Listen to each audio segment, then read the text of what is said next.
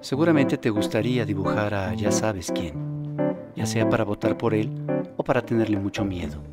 No es difícil. Podrás dibujarlo antes de que él termine una frase. Traza una barra de encuestas muy, muy grande y en lo alto dibuja a un agente ruso, un Hugo Chávez, un comunista, un Mesías tropical, un Donald Trump, un populista trasnochado, un Echeverría, un peligro para México, un conservador embosado, un dueño de tres departamentos, un perdonador de criminales, el mismísimo chamuco. Felices trazos.